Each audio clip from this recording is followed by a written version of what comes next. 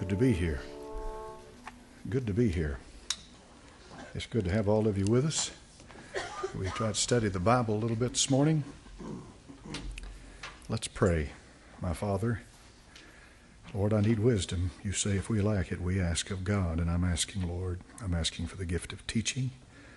And I ask to, that you give the heart, the folks' hearts that were, that are receptive, that want to hear, and uh, glorify Thee. In Jesus' name I pray. Amen. All right. Now, if you have uh, your Bibles, will you turn to the book of Matthew, chapter 1? What I'm going to do today is uh, I'm going to deal with the kingdom of God and the kingdom of heaven for just a few minutes in Sunday school this morning. Matthew chapter 1, verse 1. There's a lot of folks that teach that, they're, uh, that the terms are interchangeable and synonymous. And so they make no difference between kingdom of God, kingdom of heaven. A lot of good people teach that. They love the Lord, no question about that. And uh, that's not the purpose in here today. I, hope, I trust that you'll be willing to uh, approach this with, with an open mind and then let the, uh, let the Scripture deal with what it's going to deal with. And I believe you'll be, you'll, uh, you'll be better off for it. Uh, in Matthew chapter number 1, verse 1, it says, The book of the generation of Jesus Christ the son of David and the son of Abraham. If you'll notice that Abraham is 1900 BC, David is 1000 BC, almost a thousand years later. Yet, uh, yet uh, David is listed before Abraham. Why? Because it's a Davidic kingdom. This is the genealogy of the king. This is the uh, this is a dynasty. It's the royal line. You have two books in the Bible that have the genea- in the New Testament that have the genealogy of Christ. One is Matthew, the other is Luke. Luke deals with his humanity all the way back to God. Matthew deals with the credentials as the king. In Matthew, therefore, it is a book that is definitely Jewish. It is, a, it is the gospel that is so Jewish that up until the 13th chapter of the book of Matthew, we are dealing specifically with the kingdom and the king. Chapter 1, you have the genealogy of the king. Chapter 2, you have the birth of the king. Chapter 3, you have the herald of the king. Chapter 4, you have the preparation of the kingdom. And then chapters 5 through 7, the constitution of the kingdom, which is the Sermon on the Mount. Chapters 8 through 9, the credentials of the king. Chapter 10, the message of the kingdom. Chapter 11, the rejection of the kingdom. Chapter 12, the unpardonable sin shows up in rejecting the king. And then in chapter number 13, turn over here and you'll see what happens. In the 13th chapter, 13, quite coincidental. In the 13th chapter of the book of Matthew, something shows up. Just bang, all of a sudden, a profound change takes place in Matthew chapter number 13 and verse number 3, he spake unto them in parabole, parables. The parabolic state starts. The knowledge of the kingdom now and the, and the clear witness to it enters into a hidden, mysterious state, into parables. And uh, a lot of folks say a parable is a, a earthly message with a heavenly meaning. That's fine. That's a surface thing, though a parable has a far deeper meaning than simply a surface mean, uh, uh, something happening on earth with, with, with a heavenly meaning. A parable is a way that God conceals the truth so that he can reveal it onto, only to a certain few. What is this for? This is in preparation for the blinding when God blinds Israel to their king and to their kingdom. So, the 13th chapter of Matthew, we enter into a parabolic state or into parables. And when John the Baptist shows up, look at John chapter number 1, verse number 31. In John 1, verse 31. Notice clearly what he said his ministry is to.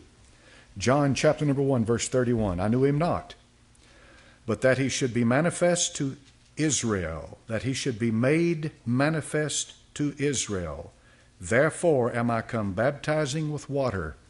John the Baptist said plainly, My ministry is to manifest the Lord Jesus Christ to Israel. That's what he said.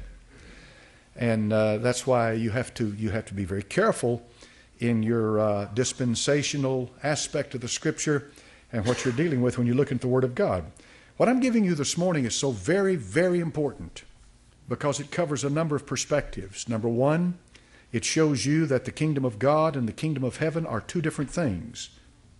I'll show you that in a few minutes. Number two, it shows you, shows you how a Davidic kingdom, the kingdom of David, is being offered into the Jews, and the Jews reject it, and they reject the king. And by doing that, God puts them into a blinded state, and he begins to bring parables before them. And of course, the only way the parable could be understood is if God reveals it and manifests it to them. In the first king that shows up on this earth is in Genesis chapter number 2, if you'd like to turn back there with me. In the book of Genesis, chapter number 2, you'll see a king showing up on this earth. And God uses the terminology of, uh, of a kingdom. In Genesis 2 and verse number, uh, uh, verse number, uh, let's see, let's look over here. Verse number uh, 8, Genesis 2 8. And the Lord God planted a garden eastward in Eden. There he put the man whom he had formed. And out of the ground made the Lord God to grow every tree that is pleasant to the sight, and so forth. And what you find following here is the creation of Adam. And if you'll notice in verse number chapter number 1 and verse number 28, subdue it and have dominion over the fish of the sea and over the fowl of the air and over every living thing that moveth upon the earth. What is that? That's the domain of a king. What, what's happening? God had just handed Adam the keys to the kingdom of heaven. And since Adam was not a fallen creature, he also had the keys to the kingdom of God at the, at the same time, simultaneous. But when Adam sinned against God and fell, he lost that authority. And that went in Luke chapter number 4, if you'd like to turn there with me. That went to Satan. In Luke chapter number 4, verses 5 through 7. And the devil, taking him up to an high mountain, showed unto him all the kingdoms of the world in a moment of time. And the devil said, All this power will I give thee, and the glory of them, for it is delivered to me. What is? The kingdoms of this world. Now, if the kingdom of God and the kingdom of heaven are synonymous and the same thing, then what is Satan doing ruling over the kingdom of God? That's a tough question if you believe they're the same. But he said plainly, The kingdoms of this world are mine. What kingdoms? The kingdom of heaven that's on this earth. The kingdoms of this world. The kingdom of heaven is a physical, literal uh, uh, kingdom. And uh, Satan had that kingdom given back to him he had lost it because I have I believe by indication of scripture is that he had it before Adam sinned and he lost it by sinning when he was cast out from his position of authority in heaven. Look at Revelation chapter number 12 and verse 1. Revelation 12 1.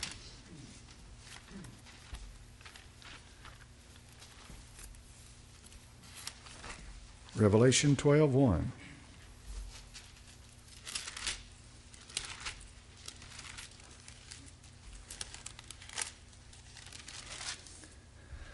Scripture says, And there appeared a great wonder in heaven, a woman clothed with the sun and the moon under her feet, and upon her head a crown of twelve stars. All right? You see this? All right, now if you look carefully, there appeared a great wonder in heaven, verse 3 Behold, a great red dragon in opposition to the woman. The woman is Israel. In great opposition to the woman, a great red dragon having seven heads and ten horns and seven crowns upon his heads. These seven heads and seven crowns represent the seven successive kingdoms that Satan has used in the kingdom of heaven to rule over this earth. He started with Babylon, which was Nimrod. If you'll notice, when he began to rule on this earth, he ruled through Nimrod. who was the first rebel in the Bible. He was of uh, he was a Hamite under the descent. He was a descendant of Cain under uh, uh, through Ham. Nimrod. Then we have Pharaoh, who's an Egyptian, Sennacherib, an Assyrian.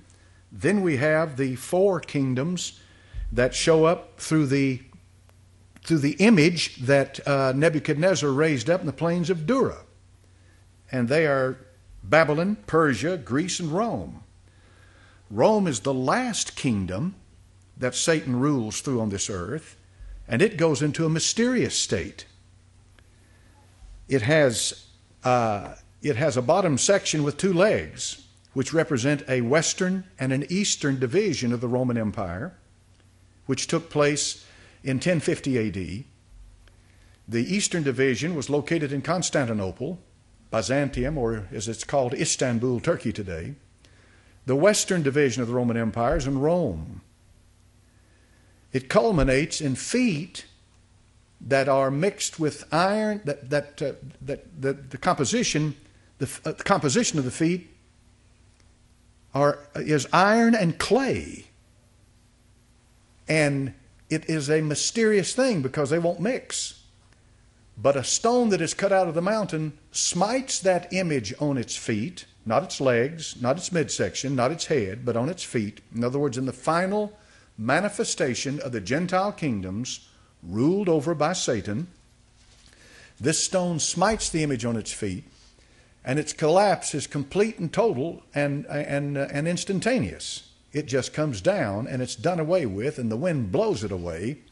And the stone cut out of a mountain will establish a kingdom, which is the Lord Jesus Christ. That takes place in Revelation chapter 11 and verse 15, where it says, The kingdoms of this world have become the kingdoms of our Lord and of his Christ. So, the kingdom, when we're talking about the kingdom of heaven, which is a physical kingdom, when that kingdom is manifested, it's manifested right now in a satanic manner because it is being controlled by Satan, not the church. The church is not reigning on this earth, the church is not reigning in heaven. Evil men and seducers shall wax worse and worse, deceiving and being deceived. And that's exactly what we have today. We have a manifestation of wickedness uh, unfettered, like we've never known. But this kingdom is going to come to an abrupt end. And it's going to come to that end at the second advent of the Lord Jesus Christ, which is in stages, according to the book of Revelation. Now, when we look at these kingdoms, we see seven of them, seven crowned serpent. Notice that it is a dragon. Satan is a dragon, great red dragon. When you look at Matthew, Mark, Luke, and John, only one gospel says anything about a new birth. And which one is that? John. And of course, you all are quick to respond to that because you've heard me say it time and again. Why does not Matthew, Mark, and Luke refer to a new birth? Because the new birth was not part of the Jewish kingdom. That's why. The new birth was not part of it. The new birth has to do with the church of the living God. And Christ had to die on the cross. This is the new covenant of Hebrews chapter number 9. Without the death of the testator, the testament is not in force. He had to die on the cross and make the atonement in order for the new birth to be ratified or to come into effect or to have power. So they're not there. Satan fell before man was ever made. In the book of Isaiah, chapter number 14, if you'd like to turn there with me, you'll find Isaiah 700 years before Christ recording this fall. Isaiah chapter number 14 and verse 12. How art thou fallen from, from heaven, O Lucifer? Lucifer is a, is a Latin word. And it's not Hebrew and it's not Greek, it's Latin. And it means to carry light or a light bearer. Lucifer. And so therefore he's called Lucifer, son of the morning. How art thou cut down to the ground, which didst weaken the nations? And on follows here in the 14th chapter of Isaiah is his fall. And his fall is from what was given to him. He had dominion. We don't know understand we don't understand all that's involved in it. Nobody does. There's a lot of different takes on what went on on this earth before we find it in that condition. Let me bring this before you briefly, but you think on it for a moment. In Genesis chapter number 1, the evening and the morning were the first day, evening, morning, second day, evening, morning, third day. You have seven days. You have six days of creation and the seventh day of rest. All right? The Lord God rested from his work. There's two ways that that's looked at. One is that that's looked at as the original creation that God created in six days, and on the seventh day he rested. A lot of good people believe that. Uh, brothers and sisters, many of you in here probably believe that. The other way that it is looked at is that those six days are recreation or restoration from an original creation that took place in time immemorial in the past, somewhere in the past. Why do people believe that? They believe that because of a couple of things, that, a number of things that are mentioned in the scripture. Number one is that he said to Adam, replenish the earth. Number two, it says in Isaiah chapter number 45 that God did not make the earth tohu vabohu. That's what you find in Genesis 1. The earth was without form and void. The form and void translated into English is translated from the Hebrew tohu vabohu. Just go look it up. That's all you have to do. In Isaiah 45, the Lord said, I did not make it tohu vabohu. I did not make it without form and void. It was made in a pristine condition by the creative act of God. So, the situation where Satan shows up and God says to him when he tempted Adam in the garden, He said, And because thou hast done this thing, a specific thing. Uh, in other words, this has to do with the progressive fall of Satan, and I brought you a message a few years ago about that. How that Satan, when he was cast out of heaven, was not completely cast down into hell fire. He's been cast out progressively in stages. And if you'll notice in Revelation 12, when I just read to you a moment ago, it said that, and Michael fought against the dragon and found no more place in, in heaven for the dragon. So he was finally cast down to the earth, and it says there that he knoweth he hath but a short time. Uh, there may be other positions. I don't know what they are, but I do know this. I do know that if you take the position of the, of the earth being created in the six days, then uh, what you have there is, uh, is uh, simply recorded for you, simply set forward, straightforward, what you read in Scripture that man was created on the sixth day. And of course, that does match the number of man because the number of man is six. And 666 is an intensification of man or mankind. And the name that God gave Adam, he gave him a generic name. The name Adam in Hebrew simply means of the earth, of the earth, of, a, of, a, of the earth, an earth kind. The first man uh, was earthly, earthy. The second man is the Lord from heaven. So there's a contrast between the two. But if you believe that, uh, that, the, that, that the account in Genesis 1 is a recreation or a restoration of an original creation, it opens up the door for all kinds of speculation as to what might have been on this earth before. And when you study the Old Testament and find passages that refer to beings that were uh, that, uh, that that don't fit, that uh, that just don't appear to, to belong, you can't you can't place them uh, like the Rephaim over there in the book of Isaiah. I think it's chapter 25 or 27, somewhere in there. He said, They are the dead. All right, that's the Hebrew word translated into English dead is the Hebrew word Rephaim. In other places in the Old Testament, that same word is left untranslated. Get a, get a concordance and just type in Rephaim and you'll find it pop up. See? So the King James translators translated in one place, but in another place they did not translate it. Are you following me now? Same word. In one place, it's straight out of Hebrew. What you've got is an, is an English form of Hebrew word. In another place, you've got a translation. Where they didn't translate it, they simply said the Rephaim. What did they connect it with? The giants. Everywhere the Rephaim show up in the Old Testament, they're connected with giants. But in the book of Isaiah, where it is translated, it is translated, they are the dead. And the King James translators probably, when they translated that, thought to themselves, well, what are we going to say here? If they hadn't translated it, it would have, they would have had to say, they are the Rephaim, which would have opened up a can of worms completely. So they did translate it. There's nothing wrong with that. I'm not saying, I'm not speaking of it in a critical sense. I'm trying to cause you to observe. But here's what it says in the context. Here's what it says in the context God has visited and destroyed them. They will not rise. And that's, that's quite a thing because the Bible says in the book of, uh, the, I think the Lord said it in John, that the, the hour is coming when all that are in the grave shall hear the voice of the Son of God and come forth. They that have done good to the resurrection of life, they that have done evil to the resurrection of damnation. They don't exist anymore. What are they? That's where you have to go back and find out what the they are.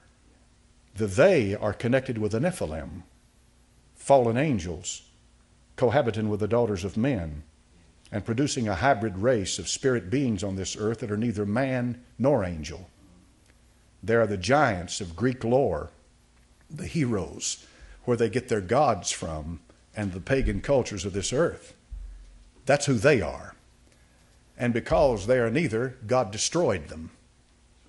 And they do not rise, they have no resurrection, they have no existence. They're not men and they're not angels. But it's a warning as to what's coming. I'll be talking about that later on in the message when I'm preaching this morning.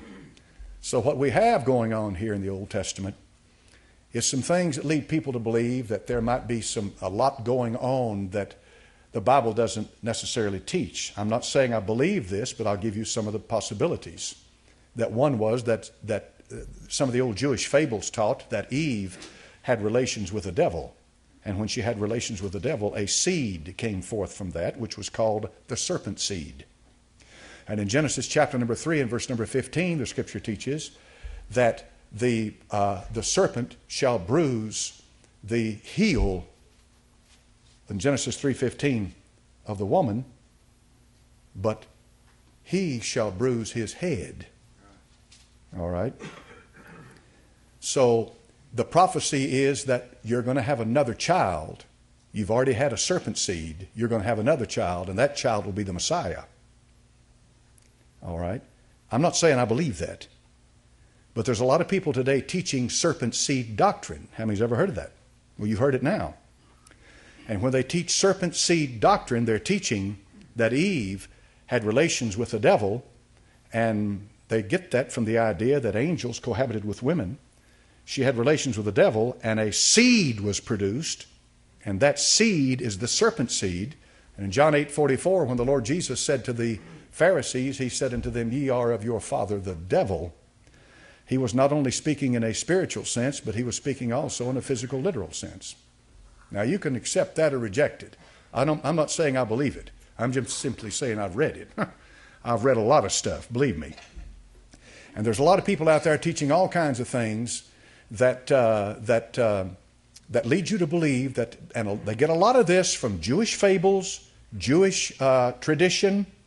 They get a lot of it from apocryphal books like the book of Enoch, the book of Jasher, and other books like that. They get this, they get this idea, and so they're strong on it. This woman up there in uh, Ohio that I've told you about, who believes that the Apostle Paul was a rank heretic, and that the that, that the Pauline epistles are just a bunch of garbage written by him to take away from the Jewish kingdom. You remember now, we're on the kingdom.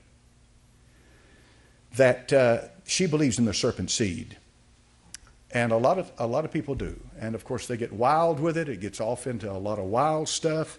You need to remember, folks, if the Bible does not support it, leave it alone. Leave it alone. There may be elements of truth and the truth of the matter is, any big lie, any real big lie, will always have elements of the truth in it. Partial truth. That makes it more palatable, that makes it more believable. So uh, be careful. So uh, you, your position is one of the two: either that you believe that the earth is restored in the first six days, or you believe that a that the uh, that uh, that in original creation, or you believe that the first six days are creative days where God creates the earth. That's uh, uh, in reference to the creation. Now, when God put Adam in that garden, he gave him dominion over the fish of the sea, the fowl of the air, and over living over every living thing on the face of the earth. Adam forfeited that to Satan when he fell, and Satan was handed that kingdom again. From that point on, God chose people to rule over his kingdom on this earth. In other words, what God would establish on this earth. He called Noah, this, the eighth person, Peter said. He called him and gave him dominion in the book of Genesis and showed him a rainbow and said, This is the seal of the covenant that we have. He called Abraham. He set forth the throne of David. One after another after another, the Lord establishes the authority on this earth where He will manifest Himself and manifest the truth through those people. It's important. This is very important, folks, what I'm about to say to you right now. Every culture that has a, that has a written language, uh, if that culture has a written language, it has traditions, it has religious traditions, it has, uh, and, and every one, every one of them, outside of the Jew, uh, will have its religious traditions, it, its, its religious books, paganism, or whatever. It'll have it. You either have to accept the fact that God's revelation is through one race of people, or you have to accept the fact that God gave them part of the revelation, but He also revealed Himself through the cultures of other people and through their religions. You have to make a choice. Let me tell you what my choice is. My choice is according to Romans chapter number 9 to the Jew was given the oracles of God. That's my choice. If something that a Greek says or a Hindu says or, or a, a Muslim agrees with the Scripture, good for them. But that's not the source of authority. The source of authority is the Jew. To them was given the oracles of God. You got to remember that. You got to keep that. That's very important because that is that is inspiration, and that's uh, that's where you stand. You either stand on the absolute inspiration where God chose one people. Now think about it for a moment. If God had chosen 15 different uh, uh, uh cultures to manifest himself, you'd have 15 different messes. you would. They'd be in conflict with each other all the time. This is why he wrote one Bible and manifested himself to one race of people, and that's the Jew. Now, a lot of folks don't like Jews, and uh, they, they, they blame them for all the, the ills of the world. And before you start blaming the Jews for the ills of the world, you need to thank some of the Jews for some of the things that we've got.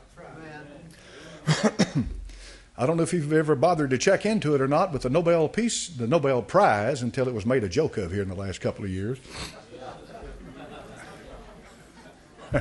but the Nobel Prize was a, was, a, was a worthy thing. And of course, it's issued in a lot of different fields physics and, and what have you, uh, medicine. But uh, get home and do your own, just type in have the recipients of the Nobel Prize and look how many of them have been Jews. Why is it? Because God blessed them. That's why. That's why. He blessed them. He gave them knowledge, He gave them abilities, He gave them organizational skills and abilities. There's a fellow in prison right now, right now by the name of Madoff. That's a good name. He made off with, somebody said, good name. He made off with a lot of money, right? but folks, believe it or not, he pulled the wool over a lot of, uh, apparently, a lot of uh, highly placed uh, people who should have known better. And he, and he, uh, he was able to embezzle billions of dollars, billions. And, uh, and of course, Mr. Madoff is a Jew. You got to keep that in mind. The house of Rothschild, which apparently is probably the richest house on earth, and some give their, the value of their holdings at a trillion dollars or more, they can pull the money strings, they control the money. And these people are Jews.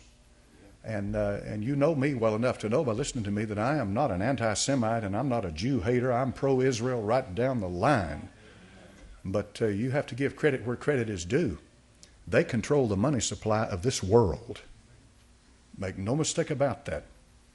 And so, uh, and the reason they do, of course, is because God gave them the gift of prosperity. He showed them how to prosper. He gave them that, and they pass it down from generation to generation.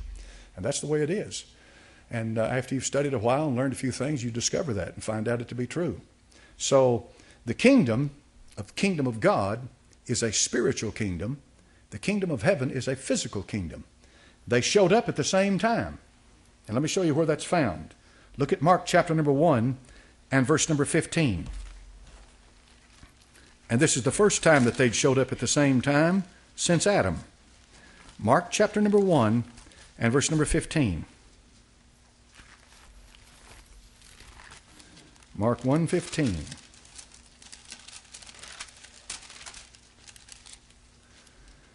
If you look at verse 14, now after that John was put in prison, Jesus came into Galilee preaching the gospel of the kingdom of God, saying, The time is fulfilled, the kingdom of God is at hand, and it was at hand until it went into a parabolic state. Repent ye and believe the gospel. Now hold your place here and go to Matthew 4:17. And notice this. Matthew chapter number 4 and verse 17.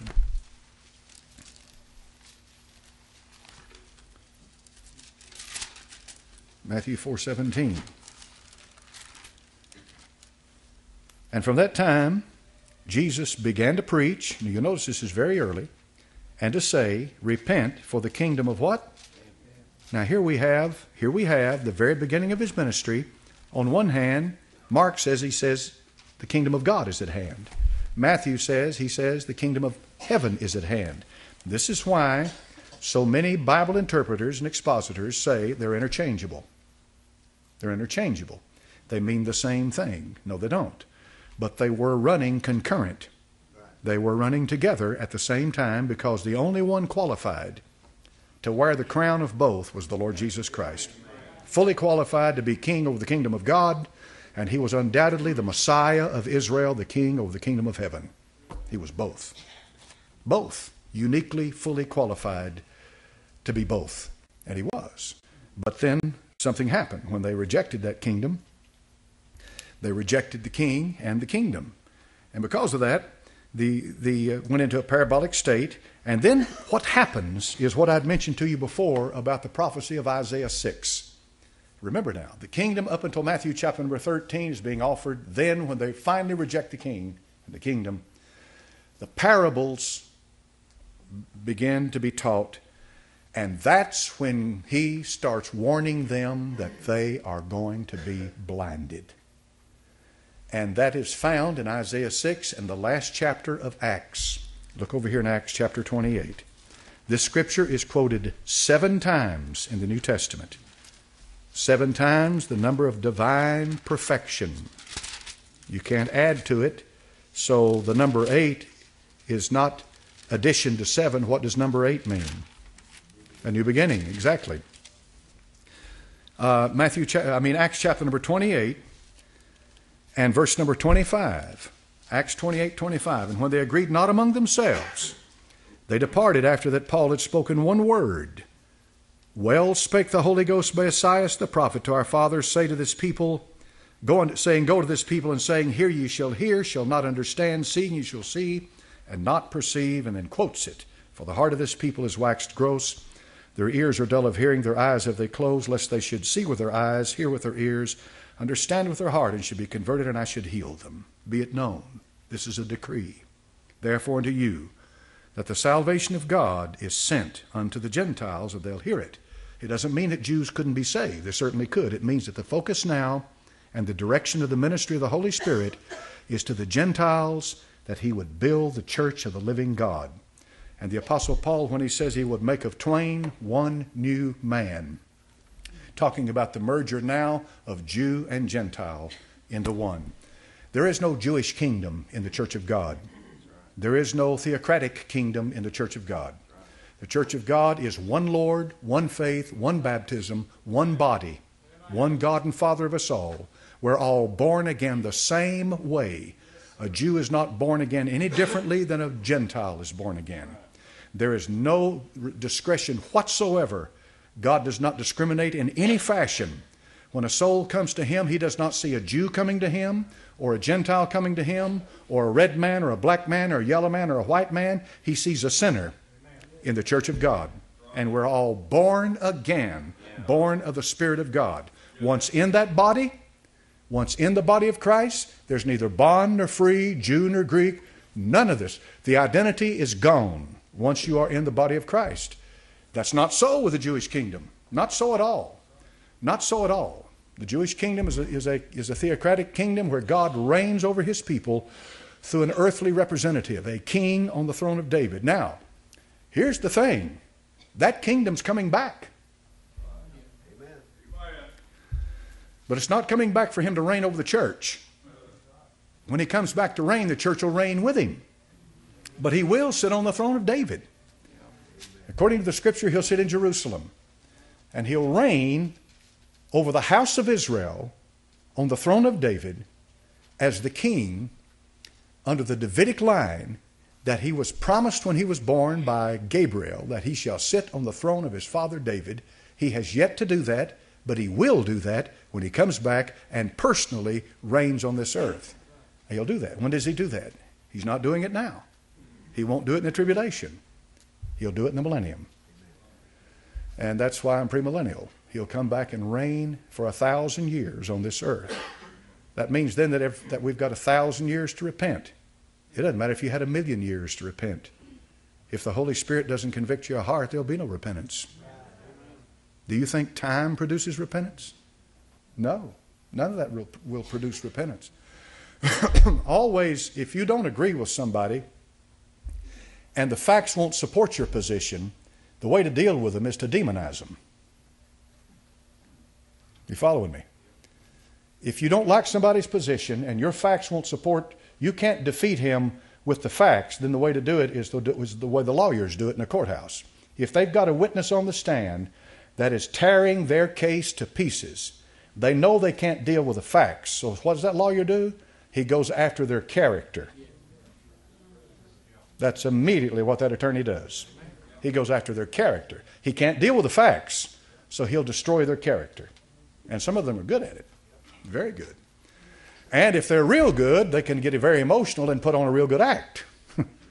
some of the best acting you've ever seen in your life takes place in the court of law. They ought to hand out Oscars for some of the performances that go on in there. Amen. I'm serious as I can be. So, uh, where do we stand now? Well, here was, here's where we are. He's calling a Gentile bride, a Gentile bride. There's a type of that in the Old Testament. There was a servant that was sent, and uh, Abraham the father says, I will not have for my son one of these daughters of Canaan. So he sent him back to his family. He sent a servant back, and his name was Eleazar. And he went, he said, You go find a bride for my son. All right? All right, Abraham is a picture of God the Father. Eleazar is a picture of the Holy Spirit. And uh, he goes and he finds her where? Where does he find her? At a well. He finds her at a well. Fountain of living water. He finds her. Water is always connected with salvation in every perspective you can imagine, from Genesis 1 to Revelation. And Rebekah, that's her name, Rebekah, which is a beautiful name. And in Hebrew, it means she is so beautiful that she lays a snare for a man. Once he sees her, he's, he's, he's, uh, he's encapsulated for the rest of his life. He can't take, take his eyes off of her. So while Isaac is in the field, mourning the death of his mother Sarah, who's a type of Israel, Eleazar comes with Rebekah, who had answered him at the well, Will you go with this man? And that's what the church does. We have to give an answer to the Holy Spirit. We will go. So Eleazar takes Rebekah out of the house of Laban, and he takes her back with him into the house of his father, or the land of his father. And on the way, the Bible says, while Isaac was in the field mourning the death of his mother, Sarah, he saw the camels coming. Amen. Amen. He saw the camels coming. And the camels are coming. The camels are coming. And the, I pray to the Lord God, the camels are coming. The camels are coming. And they will come. And he will come. He will come. And of course, she becomes his bride. And uh, from that union, two lines of people are born. Two lines of people are born from the union of, uh, of uh, Isaac and, uh, and Rebekah. Who are they? You know, what, what are their names? You've got 2 mm-hmm, you sure do. And uh, the, these uh, two different uh, two different types of people, and uh, two different kinds. All through the Bible, at the births, you got one type here, one there, one family here, one there, one line here, one line there. So I'm glad, thank God. He's coming. He's coming. The camels are coming. Yes, yes, sir. Pastor, I just, just what you said, that, got a pastor, well, my God, a long time ago, over four years ago, his name was close to fifty. Few messages, I can recall that long, but, uh, the man of God, he's about six foot five, you could picture this, he got, oh, you might say emotional. Six foot five, he weighed close to four hundred pounds. He got on the camels are coming. That brother called to the Lord, I'm gonna see him again. Oh, yeah. Because the camels are still coming. Oh, yeah. Remember that. Oh, yeah. Thank God for his word. Yes, sir, brother. Yes, sir. Yes, sir. Yes, sir. Uh, no, what was it? Grace. Grace. All right. The camel's name was Grace. Won't argue with that, brother. Yes, sir.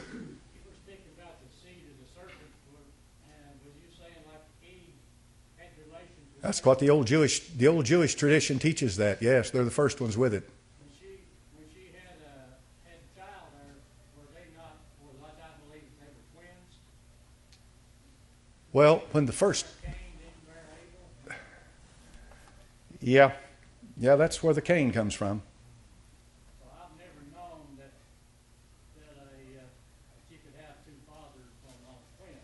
I think you can. Yeah. I, I got into that one time. I think you can. Yeah. Yep. No, but you can. Yeah. I mean, it's a, it's an oddity, rarity, rare thing, but yeah, you can. This is why Cain, the Bible says, was of that wicked one. A lot of things in the Bible talks about Cain. Uh, but the problem with all that is where the Lord said to Cain, He said, If thou doest well, wilt thou not be accepted? He gave him an offer. The Lord gave Cain an offer. He gave him an opportunity there. He did. He, he gave him an opportunity. So if Cain, if Cain had been uh, a product of the union of Satan, why he wouldn't have offered him salvation. But yes, you can. Yes, you can. You sure can. All right. Well, that word prayer won't let you go. All right, Brother Chapin, dismiss us, please.